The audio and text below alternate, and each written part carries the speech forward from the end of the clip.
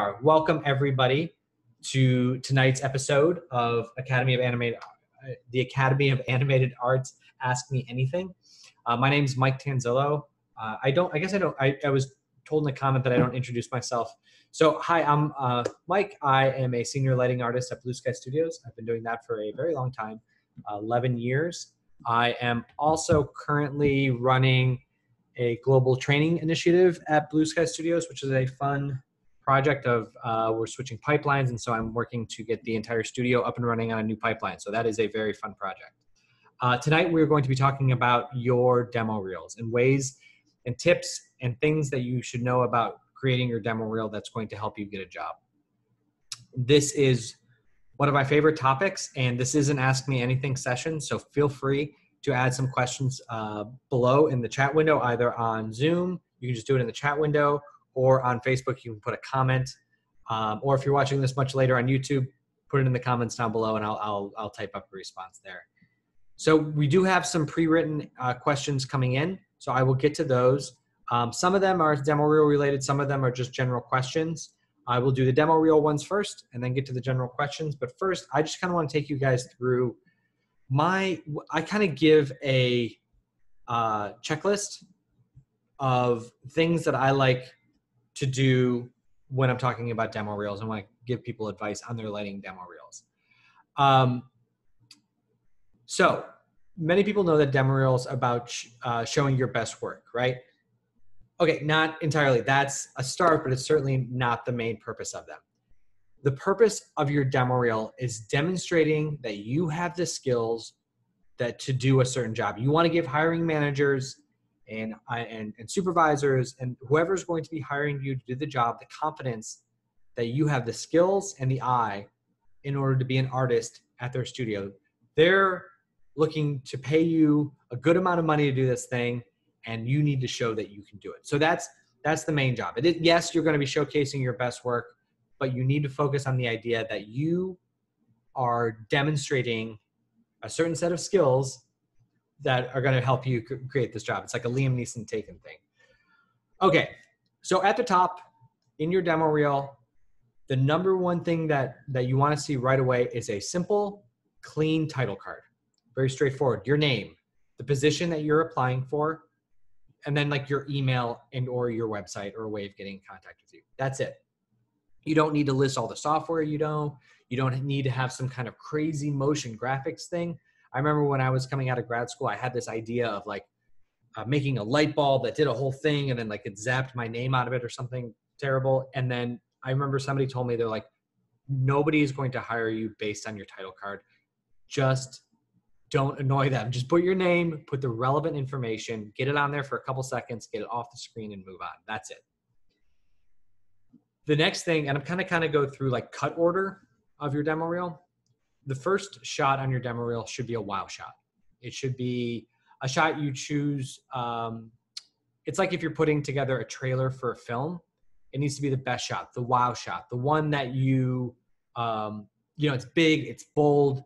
This is their first impression of you as an artist. You need to start them off with a bang. You need to put your best work forward. Um, and oftentimes you are not the best judge of your best work. So that's what we're here for. So uh, let us know, and I can give an objective eye um, in our Friday critiques and let you know, you know, what your best work is. Because oftentimes you'll be thwarted by the notion that um, that you know something was your either your most recent work and you're very proud of it, or it's a very personal project, or you just spent a lot of time on it. Oftentimes, your best shot may not be the thing that you thought it was because you didn't spend that much time on it, but it just came together beautifully, right? Um, the next thing I always tell people when applying for a job at an animation studio is in your first couple shots, you want to demonstrate strong character lighting. Animation studios create, generally speaking, we create character driven storylines, right? Main characters, uh, there are heroes, there are villains, and we want to show that we create strong character lighting because that's the stuff that supervisors are looking for because that's often if you're just coming in as like a junior artist that's what they're going to need you to do just some simple headshots over a pretty locked off background and if and if you can do that that's great. Then you can you can demonstrate that that you have that strong character lighting that you can make eyes look beautiful. That's a big one that'll really impress them. Um, and what I mean by like being able to demonstrate that you can do the job is not only you're you showing that you can do it, which is important to them, you're also showing them that they won't need to show you how to do it. So it's saving time, and that's what they want. Um, so, you know, we always talk about the three whys of lighting. Does your character lighting create strong visual shaping? Does it separate from the background and allow the audience to spot the character right away? And does it have mood? Does it have emotion? Um, and then if, if it's like a known character, you want to make sure that it stays on its hero color. When you're doing environmental lighting, your main focus should be on the sense of scale because whether it's a, a Lego set and it's super small or it's a vast city landscape, you need to demonstrate in your environment lighting the ability to tell the sense of that scale because CG models are like there's no scale to them inherently. Sure, there'll be texture maps that kind of give size cues or scale references. Maybe there's a character that's like a puppy, so you know they're kind of little, therefore this thing next to it should be rather big. Um, but really, it's it's often told in the lighting cues. If your depth of field is too high, it'll look too small. If you have a wide landscape and there's no patches of light and shadow, it makes it feel much smaller. So you need to be able to communicate that scale um, to the audience and and really kind of uh, tell that as well. Um, the one other thing that I like to say is, you know, do you have the opportunity to I this is this is just always a piece of advice that I give someone who's looking on, you know, they're like, oh, what should I add to my reel? Take one uh, either well composed shot or well animated shot, a shot you really like, and light it three different ways. Light it in daytime, nighttime, and then some weird one off thing or something like that. Show that you can take this one asset and, and, and really push emotion and three different feelings for that shot just based on your lighting. And it doesn't have to be a super complex thing. It could just be like a simple character, uh, you know, over a background and just like slowly have a camera uh, uh, zooming in or something. Uh, and that could be it. But what what that shows is that you can use your lighting skills to tell a story. Uh, and you can and you can use it to enhance whatever story the, the director is going to tell because that's something that that they want to be able to see. Uh, when you do that, include the reference that you chose to get you to that point because that's the other thing they're going to really want to look for is can you take something this came up on monday someone asked me about like an art director um, looking at your stuff and you know or i'm sorry giving you the color keys on stuff and totally the art director oftentimes will give you a color key they will give you references. They will talk you tell you to look at stuff. Um, occasionally they'll just tell you like hey make it look like a wormhole. And you're like i don't know what a wormhole looks like. And then you just have to make it yourself. But what when you're applying for a job they want to know that you can take a, a, a, an image as a reference and a model and you can make that model look like the reference. Because it sounds easy but it really isn't. It's a it, that's where the the the skill of the job comes in lastly you want to be able to show your individual individuality and your personality and your style. Um, this isn't something that's going to happen on your first project. This is something that comes out over time as you kind of create more work. You start to develop a style. I remember when i was um, I, I, before I got into CG, I was just an artist. I just I did photography, I did some painting, and I was so desperate to find my style that I, I found myself just like mimicking other people. Um, and I found that when I when I kind of just like let go and just started creating things that interested me, your style starts to form, and you can find that in your lighting as well. Um, with CG, you find things that kind of come naturally to you, things that interest you. Um, and what happens is is is towards the end when you're when you're making your demo reel um, you end up with these shots that are totally unique to you that are unique to your personality maybe your humor maybe your background maybe your heritage and that will read through in your image because your audience will look at it and say you know we just looked at 100 demo reels and this is something that that doesn't look like anything else that we saw and they get the feeling that only you could have made that and that maybe you will bring that kind of special uh, feeling to the studio. I remember when, if you get a chance to check out um, my interview with with Pixar's Becky Tower, she talks about that when she's looking for animators. She's looking for she's not looking for someone who looked at a demo reel of somebody else that got a job at at Pixar and just mimicked what they did. Um, they've already got that person. They don't need another one. But when you do something that's unique, that takes a little bit of risk, um, and it, that works out, then that's something that really stands out. And then the last thing is you just want to you want to finish strong. Um, do you have a closing shot? Do you have something? Because you, you you wowed them at the beginning. You should demonstrated the ability to do the job throughout and then you want to finish strong with your second best shot because you want to leave them with a good taste in their mouth.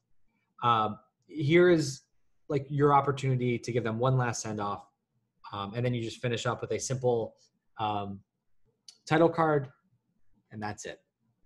Now the other thing that i should mention too and i think this I, I left some stuff out of my presentation just because um, it comes up in the questions that were asked but the biggest thing, actually, let's get into the questions because I know that's in there. Um, well, let's see if there's any live questions right now that I should answer. Okay, so Clever asks, I have one. If I'm applying exclusively for lighting and comp, but few of my works I did more uh, than lighting and comp, like fur texturing and even some modeling, should it be mentioned or not? Uh, would it be judged for other elements too, or would it be only the lighting? Uh, I, I, mean, you can certainly state all the other work that you did, I'll put it this way: you will be highly, you will be evaluated more on the work that you are uh, a stronger influence on than the work that um, comes out of a large group project and you only have a very small small role. I actually had uh, one of the guys that I work with, one of uh, a supervisor who I adore, and I think he's great. Um, his biggest frustration when he's looking at a demo reel is somebody who's only got studio work you know, who's only worked for the big studios and, and they're like, oh, I've been a lighting artist here and here and here. Um, because they don't get a sense of what they can do fully as an artist. Because sometimes when you're working in a studio and you get assigned a shot, um, maybe that shot's already been lit three quarters of the way by somebody else and you just need to go in and polish it up. So there's really no way for them to tell what you did, or all you did was just copy somebody else's light rig and put in a shot and hit render. Occasionally that actually works and you don't need to do that much work. So they don't know if the, what they're seeing on the reel is is truly your artistic ability. Now, if you demonstrate that with your own work, something that you created 100% on your own, like unfortunately, I haven't made a demo reel in a long time because I'm very happy with my job. But um, if I did, I would include some of my personal projects on there so that somebody would know that I don't I don't just have the ability to light for a studio. I can actually create things from scratch myself. So my advice to you is to just include in the um, always include all the things that you were responsible for on a project um, because you never really know like sometimes studios are looking for people who are multifaceted to be like okay we want them to do lighting but there's some downtime in lighting too when like stuff's being animated or assets are being built and it's really beneficial if you can also do fur um, so i would definitely include that just don't don't put anything on your reel that you only did for work for. You know what I mean? Like, don't show them something that's not relevant to the job. If it's relevant to the job and other stuff, go for it. But if it's only like, hey, I animated this, and you're you're applying to a lighting job, they're going to be like, why? They're, they'll question your decision making as opposed to what you actually did. Uh, one other live question here on, on Zoom, and I'll check out. So Neha asks, what should an ideal lighting compositing demo reel be? Uh, what should it have? Should we include more character lighting or BG lighting, realistic or cartoon, still or animated. Also, uh, what a look to a texturing demo reel should look like. Um, okay, let me start with, so I kind of listed the things that it should have. Um, you know, like you should definitely have, so you should have both. You should, you should show your diversity of both character lighting and BG stuff. But if you had to pick one, definitely do character lighting. Uh, but you definitely want to be able to show, like I said, the sense of scale in a BG um, more uh, realistic or cartoony, um, that's up to you. I, I like to show um, a couple different examples, like stuff that's a little bit more abstract and stuff that's a little bit more realistic. I think a good variety is nice because it shows that you can, uh, and again, this goes back to the reference imagery. It shows that you don't, you're not just a one trick pony, that you can read a reference and you can analyze that and say okay i understand what's happening in the shadow values i have i understand what's happening in the key values i, I understand what the material properties are doing, and I can replicate that in 3D. And that's that's extremely, extremely valuable to them. So um, lame answer, but a little bit of everything or is, is your strongest bet. Um, I I've got a feeling that we're moving a little bit away from super realism in animation. The stuff that I've I've seen and the stuff that I've worked on, um, it seems to be more like art direction. And I, I think this was a big turning point was like Spider Verse, because that was an, a much more abstract thing. And, and the rest of us in the industry were kind of hearing stories coming out of Sony that were just like, oh man, we got this project. It's crazy. We don't know what it looks like. We don't know what we're doing. We're just like, you know, everything's in comp. We're just trying to figure it out. And then you saw the product and you're like, oh my God, this is so beautiful. This is great. And then I think other studios are aren't as afraid to make that leap now. Um, in terms of what about a look dev and texturing demo reel, um, I have less experience reviewing those, but what I can tell you is that you want um, uh, turntables of your character.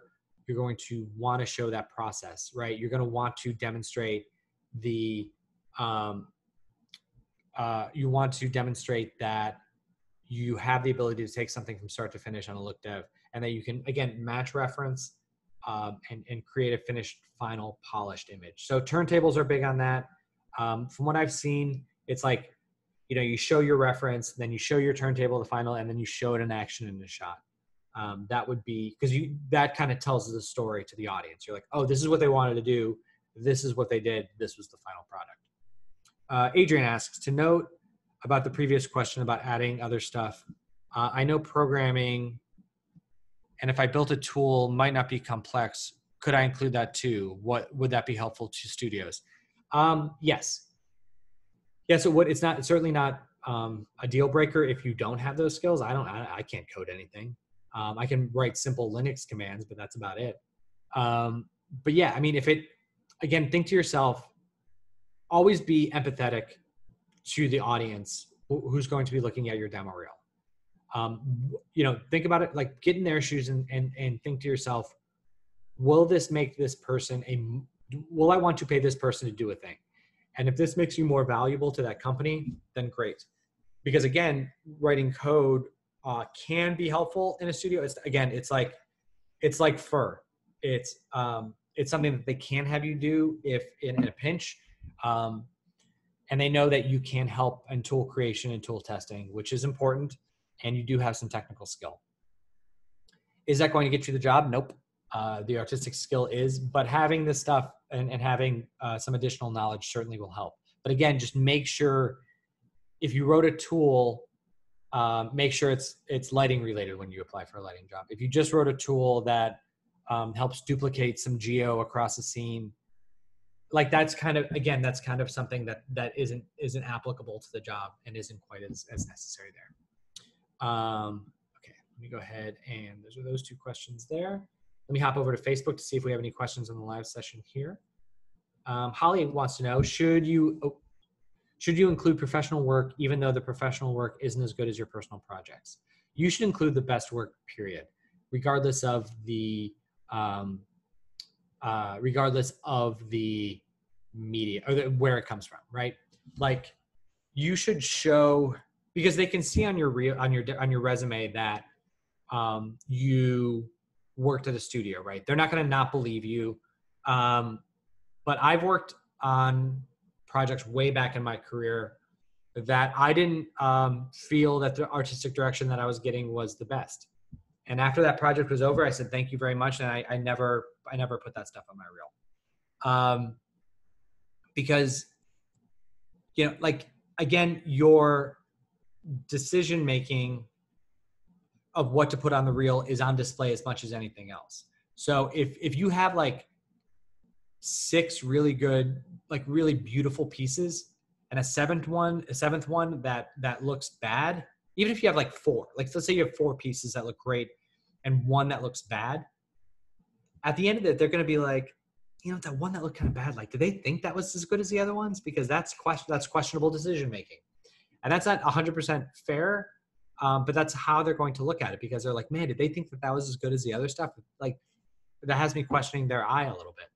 So i would say that um, if your professional stuff holds water and you're proud of it and you think it looks great and you show it to us or you show it to somebody else that you trust and they're like yeah that's, that's really great. Definitely add it. Um, i know all the work that i've done at blue sky has been i'm very proud of it. Um, but i could see it i could definitely see a scenario where you're like you know what the sequence i worked on it's not I, I, I hit all the notes and i got the director's approval but you know what it's not it's not my best work so i wouldn't feel pressure to do that um, some okay so we've got some preloaded questions uh, sylvain uh, so we've got some people, unfortunately. So I do these late at night just because it's the only time I can dedicate to doing this with a um, uh, a son that's noisy most of my day, and also I'm whatever. So some people in Europe, I, for you guys, I, I, should make a point to apologize to anyone in Europe and in Asia um, and in Africa and the Middle East. I'm sorry that these are in the middle of the night, and so I will make sure to always get to your questions um, when you post them ahead of time. So Sylvain says ideal duration for a demo reel less than a minute, less than two minutes. Super maximum would be two to three minutes, but I don't look at that when I'm looking at a demo reel. I look for um, like the best, like if if there's the best work possible. Um, I would say a sweet spot, if I had to say anything, would be like a minute and a half um, if I was making a demo reel, I'd probably go for a minute and a half to two minutes, um, because that's like that. That's that's you got the audience engaged. You've got them checking stuff out, and then um, uh, you can you can and then that that leaves them with a little bit. You want to leave them with just like a little bit of wanting more, right? Now, um, the biggest, most important thing about that is do not add inferior work to your demo reel in order to hit some sort of like ideal um, duration because that's not what it's about. It's about having your best work. And if your best work only means 45 seconds, then by God, man, make it 45 seconds. Um, you're not going to impress anybody with the length of it. Um, especially if it's like an entry level job and you're just coming out of school, they'll look at that and be like, yeah, this stuff was great. But, you know, clearly they're, you know, they've only been doing this for a few years. So they just don't have enough time to like to make more stuff. But I like what I've seen, and that, that shows potential. Um, so yeah, so there's that. Uh, music or no music? I say music. Um, lots of times we'll turn it off, like we'll mute it, which is fine. But like, lots sometimes we don't, and I, you know, it just it looks better with music over top. The only thing you want to look out for is using copyrighted music if you're posting it to like uh, YouTube for sure. I don't know about Vimeo, but YouTube for sure has like an automated thing that will police your audio and will take it down if it if it infringes on copyright law. Is it better to be simple and efficient or to make nice transition effects? Uh, when you're reviewing a show reel, what kind of transition do you prefer between two steps uh, of a breakdown? And what are the transitions that annoy you? I just prefer a very simple cut um, because the wipe will take longer. Anything else just takes longer. And um, when I'm looking at my own work, I always A B stuff, or I will look at one image, then flip to another, then flip back, then look at another. Um, and so I'm very used to looking at things that way. And when things start to wipe, uh, the wipe can be distracting. So just just a straight cut. Don't let it cut to black um, between the frames. Like go go cut cut cut cut cut. Um, and the other thing too is to make sure in your editing software that the cuts are uh, at an equal increment. You know so it's like if you if you're if they're a half second make it a half second each. Um i'm not sure if the half second is right. I, I i, don't have that information but like you know whatever feels right to you make it beats make it da da da da. What drives me nuts is when it's like da da da da da. Like it's like it kind of gets jarring so allow your audience to sense the rhythm and you can easily do that in like you know whatever edit you know even if it's just imovie you can see the bar is the same length as the other one um let's see what else we have. Do you prefer when there is a bit of time uh, between steps to have the time to take a look, or do before, or do I prefer quick transitions and pausing when you need to? Um, I prefer a, a little bit of a slower transition because I don't I don't always have time to go back and look. Um, so if you if you feel like they're too fast, they're probably too fast. So just go ahead and slow it down just a, just a touch. Should I show all the steps one by one or group parts of the composition together or compositing together uh, in steps. Like if uh, I have three successive color corrections in Nuke, should I allow all three steps or only one step that shows all three color corrections? I guess it depends. Yes, it depends. But air air again uh, and i'm going to keep going back to this to the empathy of the viewer. Um, if you're stepping through stuff and there isn't an obvious change the audience like i always look at that and like wait what just happened? Um, you know if it's like some like minor spec hit in the background um, you're not going to see that. So you're going to want to clump that together. I usually say like five or six buildups is good because you just want it to be like here's the you know here's the shot and then ba ba ba ba ba shot again go like don't you don't you don't have to show every ambient occlusion pass you don't have to show like everything just show it like in its in a simple form and then make it more more more more more go like don't show every color correction don't be like da da da da da da da da da da da da like it starts to drag on after a while so just like five or six steps um, you can just say color corrections at the end or compositing at the end and and there are a couple different ways of um, of doing of doing a breakdown right? There are breakdowns and there are buildups. There is a uh, and, and by the way this is i should have said this at the beginning always always always play the shot through first before you do a breakdown or at least part of the shot because you want the audience to know what the final is before building up to it. Because if if you just start building something up i don't know what we're what we're i don't know what the goal is. Like i don't know what we're aiming for. So it, it has to be like play the shot through and then dot dot dot dot dot and then i'm like okay i saw what, what the goal was. How did we get there right? Um and and and yeah so you just want to always make sure that the changes are kind of obvious when you're stepping through and that um and that you're showing cool stuff. Like and and you can when you're stepping through sometimes it's like sometimes it's layering it. Sometimes it's like you're showing the background then you show the character then you show the volumetric light then you show this. Other times it's like showing the the you know you're showing that that you have a key light and a fill light and a rim light and a blah blah blah. Um, and you can you can do buildups that way. So think about there's there's there's a couple different ways that you can do the buildups too. And it all depends on the shot like whatever makes the shot look cool. Just like make it cool. They, people want to see cool stuff. Um, okay, let me see if there are any other questions that are demo reel related. Um, oh yes, Leon agrees with Holly. That is a very good question. Um, I just want to see if there's any other demo reel related questions before, because we have a couple others that are not. Oh, okay, here we go. Oh, Nicholas asks, I can never tell what to compare my work to to gauge if it's good enough to be taken seriously. I often feel like I am immediately getting passed over how can I tell if I'm headed in the right direction? Well, that's what we're here for, unfortunately, um, and that's the reason. One of the big reasons why we, why Jasmine and I created uh, TDU and the Academy of Animated Art, is that um, we it sucks, and we know, um, we know that it's that the hardest thing, especially early in your career, is is you know, if you're getting into lighting, it's because you have a good artistic eye already, right? Like you have an understanding of that. But you also are going to be making work that you don't know if it's good enough, or worse, you know it's not good enough, but you don't know how to make it better.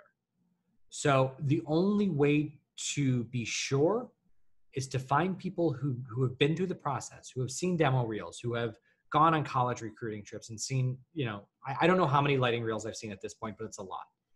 And I can tell you, um, I can tell you what that you know, and, and Nicholas, I've I've seen I've seen your work. You've got professional level work already built up, so I can I can tell you without seeing anything, you are going in the right direction, and your work is very good. Um, I can only say that because I only say that when it's true. Um, I will never ever allow any of my students or anybody that I that uh, I take that I that I, I review their their work or their reel um, I will never let them show bad work. I will never let you put something up that's not professional that I don't think will help you get a job. If I don't think, if I, Nicholas, if I didn't, if I didn't think you were a, a good artist, I wouldn't have said, I wouldn't, I don't blow smoke up people's butts because it does not help them. The best instructors I've ever had in my life, the best mentors I've ever had in my life are people that are honest with me, whether I like it or not. That I, I, I walk away from those conversations like, man, they don't know. I, I, I know I've got this in me. I know I can do this my one of my favorites was I was in I was in school and I showed something and one of an instructor who I adore named Bridget Gaynor um, was like Mike that's just it's too saturated it doesn't look good And I was like, she did. And I, I, I remember going home that night, like, she does not know what she's talking about. And I got home and I looked at my image and I just like desaturated a little bit and I was like, you know, she was right. Like she was totally right. And I, you, you need to find people that have been through the experience and people that respect you enough to be honest with you.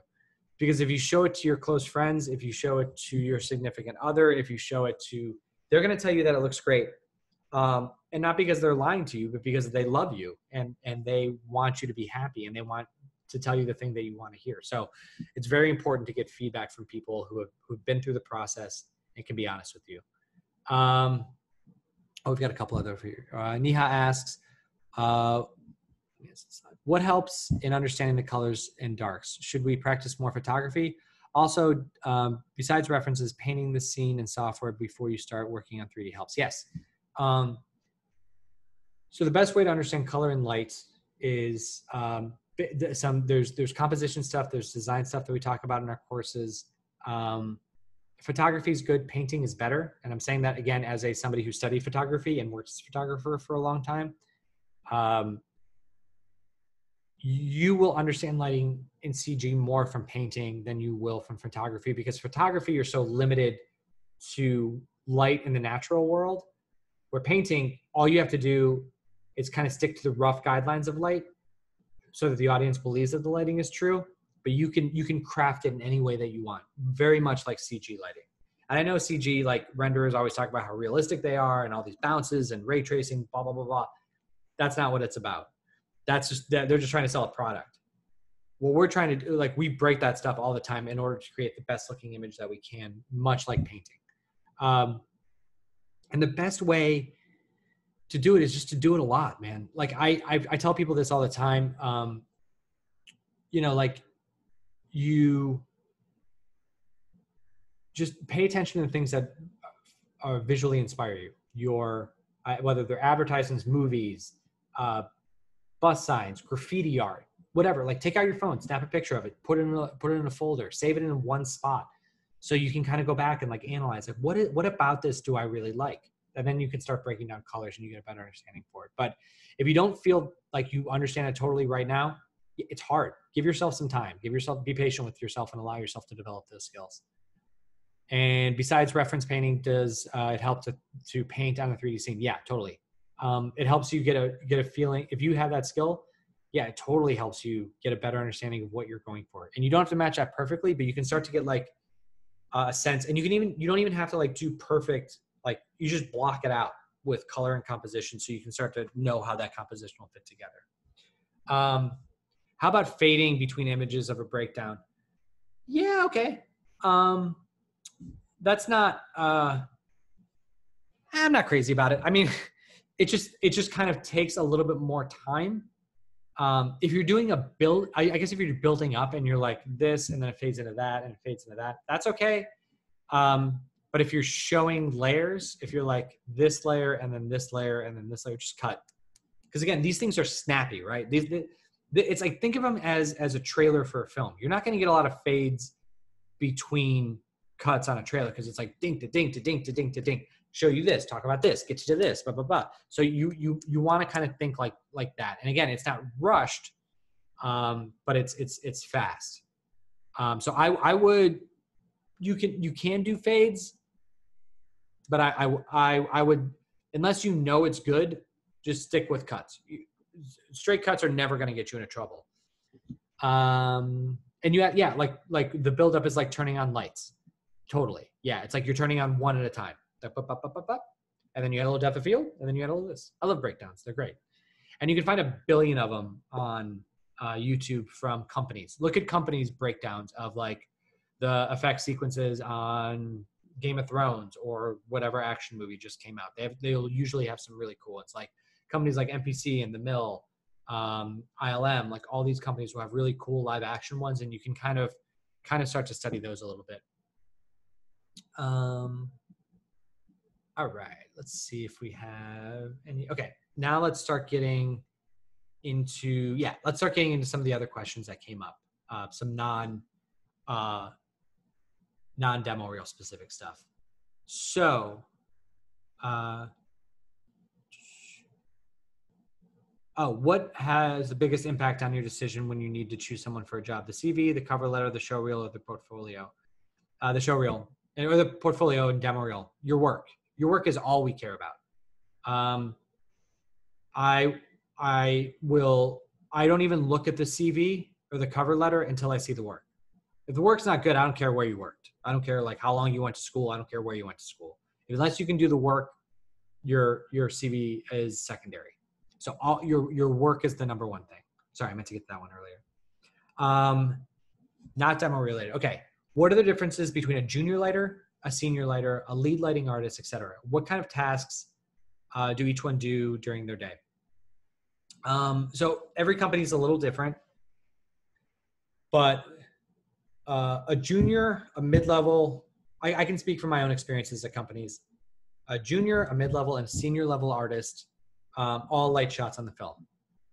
Uh, generally, those those titles are split up by complexity of the shots. So seniors will just have more complex shots than juniors. Um, they will have to have more responsibility. Oftentimes in sequences, there are these things that are called one-offs, uh, which is which I don't know if that's the official term. That's what I call them, where it's basically like you have the main sequence where things are happening over here in this part of the sequence, and all of a sudden, like the camera cuts to way over here, and you see something you've never seen before, but it needs to match all the lighting over here. A senior will often be given something like that because that takes a little more skill because you don't you generally at that point have to create a brand new rig because the default rig that was built for all this stuff over here won't work when the action happens over here. Um, but in terms of full transparency, from what I've seen, the the terms junior, mid level, and senior are um, are a, a, way of paying you differently. Um, if everyone was just called artist, um, and there were just people that were better at it than, than others, um, it would be really hard at a company to like. Let's say you came in um, and your and the lighting supervisor or the, the your boss, the head of lighting, was like, "Oh man, you know, uh, Sylvain's doing an incredible job, and I would really like to to give them uh, a big a big raise."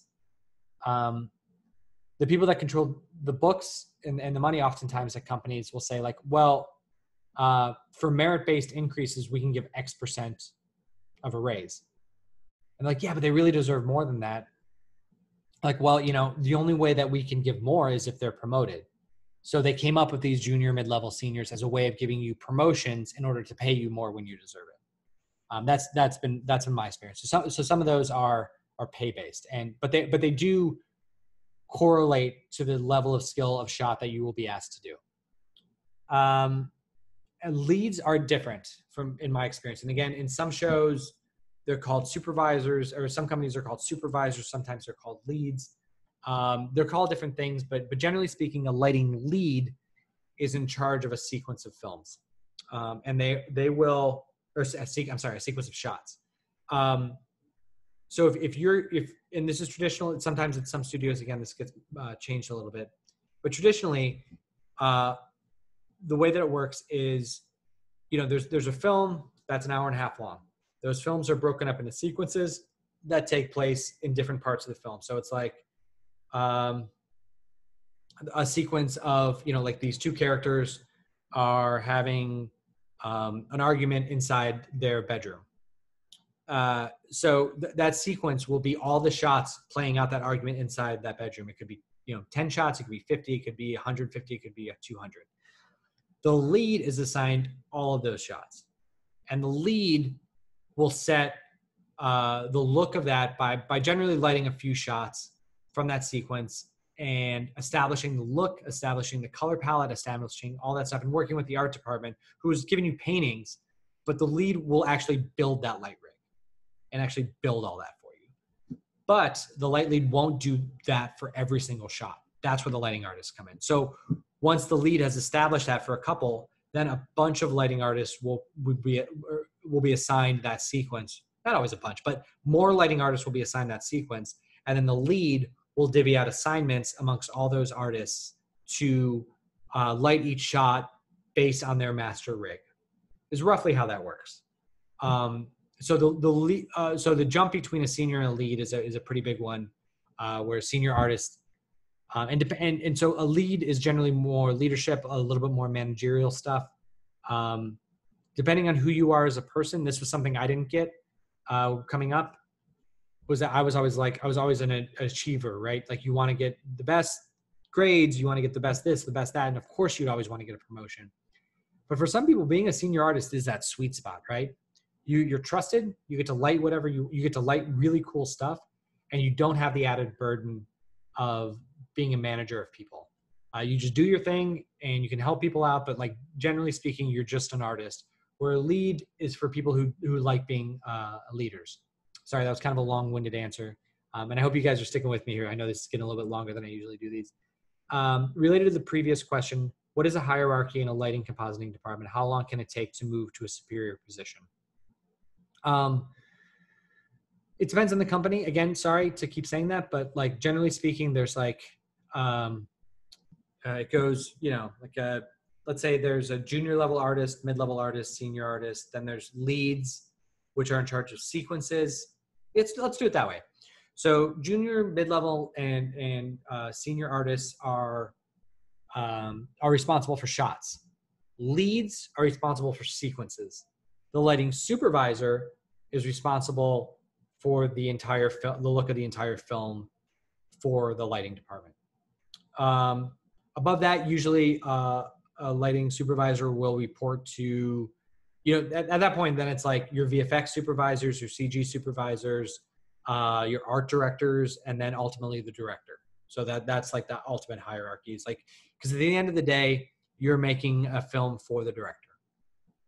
And then uh, Adrian, you asked, uh, not demo related. I'm spending time on school assignments, but some of them have diminishing returns. I feel like I'm losing so much time when I can be doing other things. Any advice? Uh, yeah, uh, I totally can relate to that.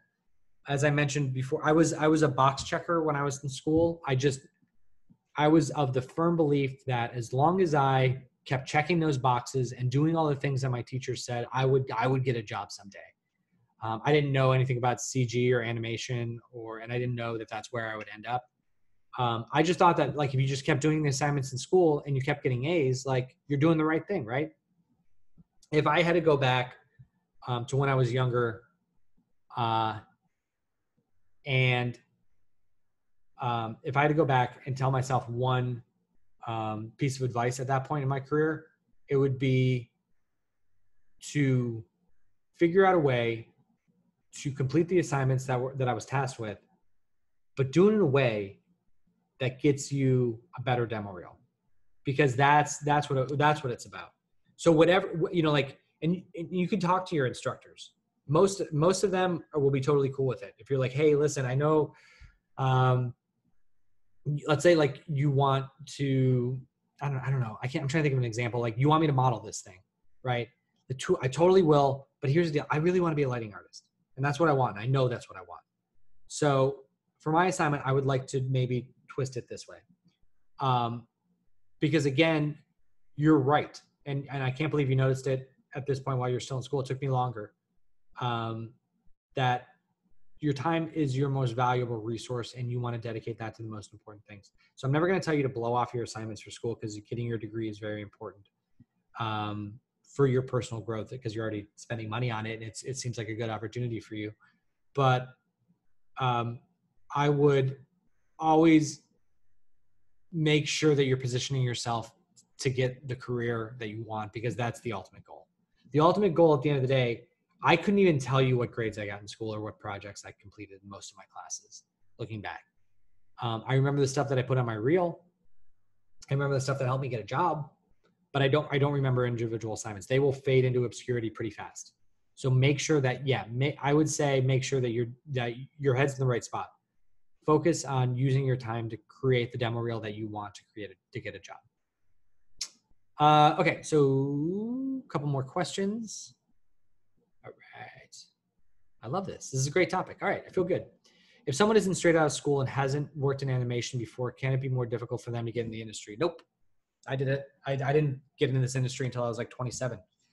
Um, uh, no, is the short answer to that. Uh, most of the people that I work with didn't didn't do this straight out of school. Um, also those unique experience. I, I actually like it when people have some. Uh, yeah, you were me 11, 12 years ago. I'm 39 now. 12 years ago. Um, except for you're more talented than I was.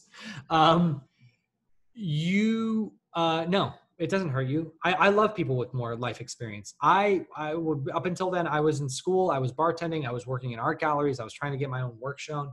That stuff, that like, you know, I guess five, six, seven years of before I got in this industry, I wouldn't I wouldn't be where I am without that stuff. And I, I think I needed that life experience. And I and I I also know um yeah, 50 years old too old? No. Nobody cares about your age. I swear, I work with people in their 60s. I work with uh, 20, 22 year olds. Nobody cares. Do do the job. Make art. Make it cool. That's all we care about. We don't care about uh, gender or race or any of that stuff. We we're we're a performance based industry. You do you do the job, you're in. You're easy to work with, you're in. Just don't if you're pain in the butt, people won't like you. That'll be a different way. That's another thing. Um, but no, it's it's it's totally fine.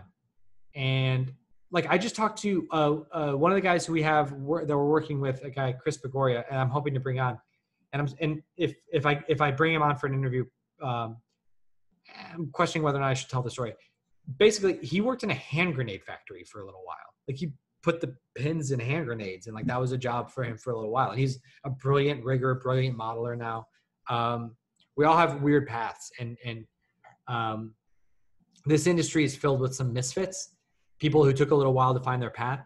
Uh, and so we we respect that. We don't we don't hold that against anybody. Um, let's see. No worries. I'm still listening. Take notes. Great. Uh, if some textures and shaders uh, does not look good in the lighting and needs improvement, that goes back to look dev or texture artist, or does a lighter change it? Uh, depends. Depends on the studio. More often, more often than not, like I'll just, uh, if I can, I'll just go ahead and tweak that. Um, if it's a major, major change, I will, uh, you know, like you, you talk to the shading artist and they'll probably make the improvement. But if it's like a matter of increasing the specularity or the bump or something simple like that, I'll just do it. Um, and and truth be told, in many studios, the textures and shaders are done by the lighting artist, which is why we teach it. Which is why Jasmine teaches it because she did a lot of that when she was working um, on film and commercial work. She was also the the shading and uh, texturing artist. Um, so yeah, so it's like shading and textures work hand in hand with lighting. So if they're not, you know, you have to tweak both of them to get the final look right. Uh, right, a couple other questions. How long do you have to work as a junior lighter? Oh, that's right. Okay, so that was the other one. Um, there's no set period of time. Sorry, let me read the question out in its entirety. How long do you have to work as a junior lighter until you are considered a mid-level or senior? It all depends on the company. So companies have headcounts, right? So when those positions were made, senior, mid-level, junior, um, companies allocate money for each position. You know, like X number of dollars to pay mid-level artists, um, X number of dollars to pay seniors and juniors. If there's no if there's no headcount, if there's no space, uh, they're not going to promote you. If you have three people above you leave, um, sometimes that'll create two openings or three openings uh, then you can slide in that. It's all about the opportunity of that company.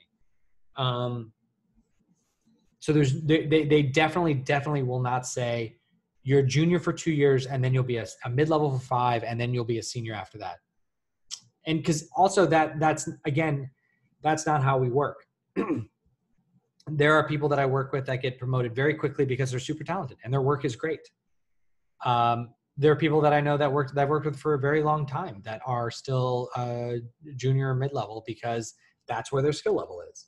And and like I said, it's it's a very great um, it's a great equalizer of our industry is that it's all about your work and and what you can put on the screen. Because again, most of the time we're in dark rooms anyway, so it doesn't really matter what you look like or how long you've been there. It's like who's putting that work on the screen. That's good. Let's get them. Let's make sure we put them in a position where they're making more money and they're happier and we want to give them more opportunities so um, how long of a break do you have between each film um, generally speaking well none really i mean like we, we have ebbs and flows um, generally speaking studios will be like i think we're, we're, we're trying to do like an 18 every 18 months um, we, we release a film and generally speaking you as a lighting artist, your your ramp up time starts maybe six to nine months before release, and then finishes two months before release. Uh, so you're slowly building up through that time period. Um, so, but then, but there is a time after a film is complete uh, where you're you're and again this is only in my experience where you're kind of like you've got some downtime to really start to like explore on the next project. Um, also to travel a little bit like because you've been you generally will have worked a bunch of overtime uh, leading up to the finishing of a product to a project. So usually what i do is like i you know i work 60 70 hours a week till i finish the project. And then it's usually a few months where they're, they're not going to tell you to take a break some companies do like some companies are like okay your contract's over goodbye. We'll call you when we're uh, ready for the next project. Um, but oftentimes, uh, but for me at a company where you're staff, you you light, you finish lighting. You I take like a month where I'll um, travel, spend time with family, um, and then for the next six months or so, you slowly start to ramp up into your next product project.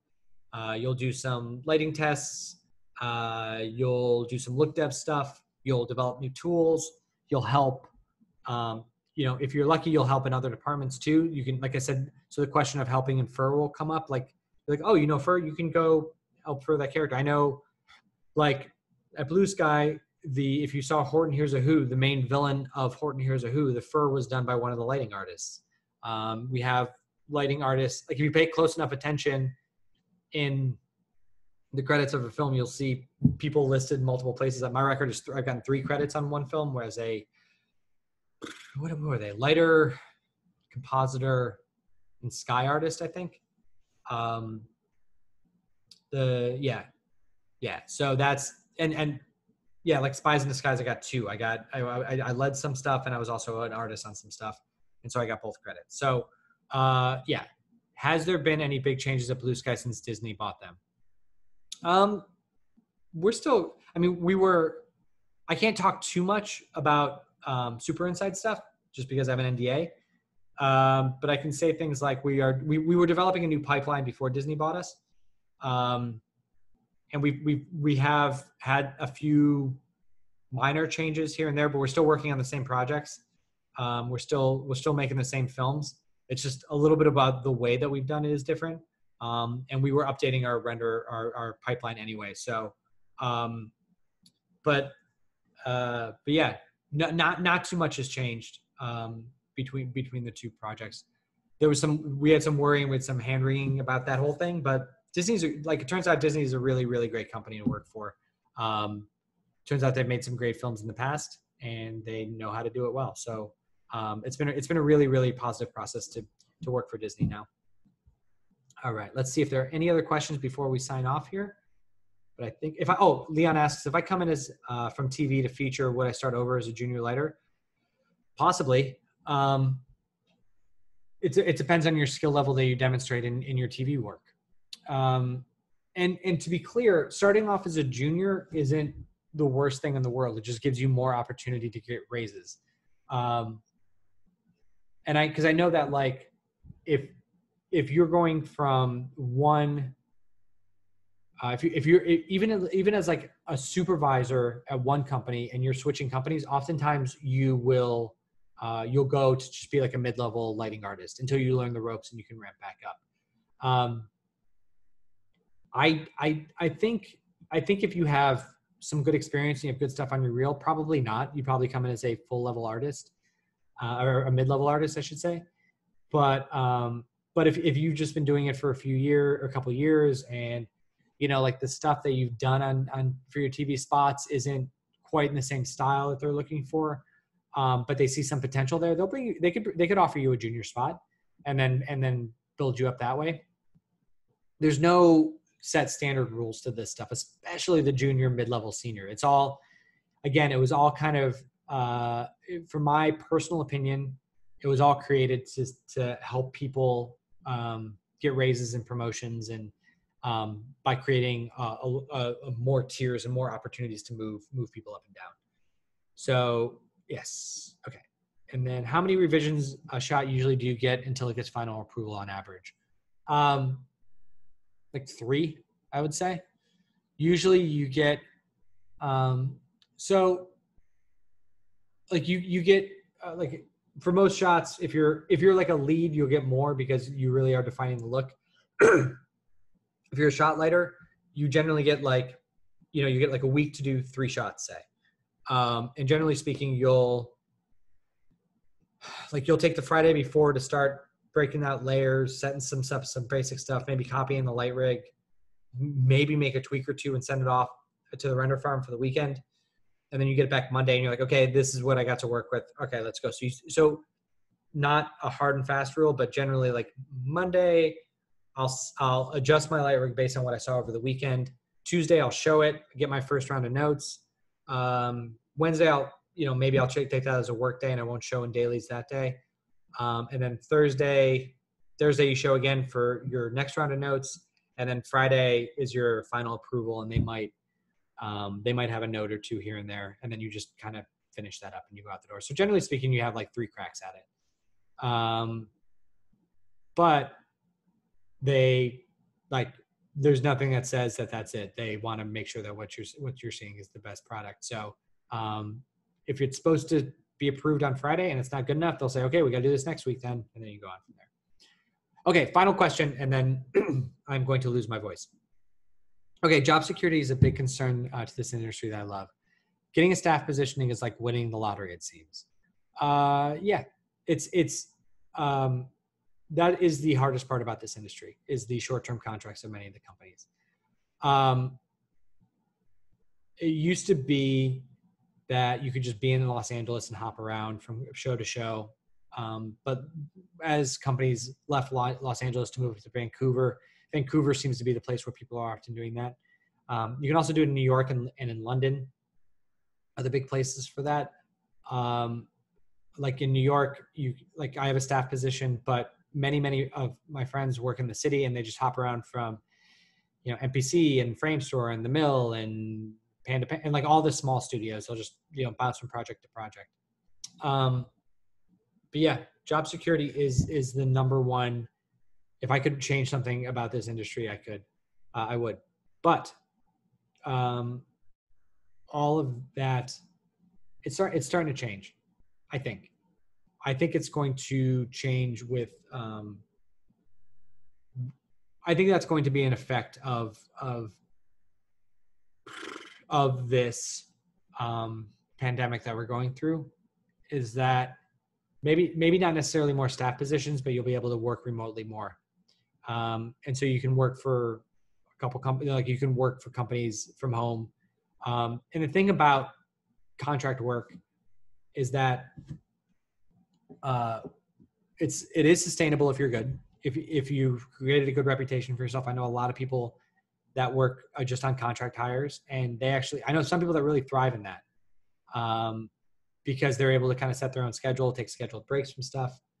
Um, but the the thing about uh, the thing about that is two things. One, again, with COVID, companies are going to be looking for more remote work because like they're going to have to create further separation of employees. You can no longer pack a whole bunch of people into um, into an open office setup. You have to space people out by six feet, and that's not that's going to be very expensive for companies. So they're going to want to um, have people working remotely.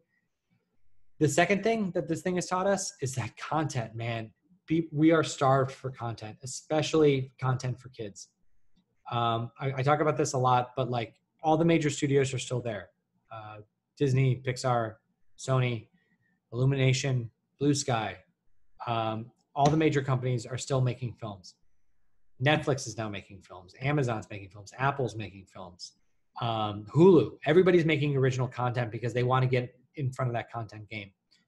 Uh, so while I don't know if staff positions will be more in demand, but there will definitely be more opportunities coming up. Like Netflix alone, I forget the number, but leading uh, coming earlier this year, they announced they were spending something crazy like 17 billion dollars on productions for for original content. And with COVID, animation is the one industry that is consistent. We don't need to go to on a film set. We don't need to, you know, fly to Scandinavia to shoot Jon Snow. I made a lot of Game of Thrones references. I don't know where that's coming from. We don't have to be on set. We don't have to be around a bunch of group of people. We can. We are the only entertainment industry arm that just kept right on rolling with this thing. We took a couple days to make sure everyone had computers at home and all the software they needed, but but we just kept right on trucking along. Um, where feature films kind of ground to a halt because they can't shoot anything, right?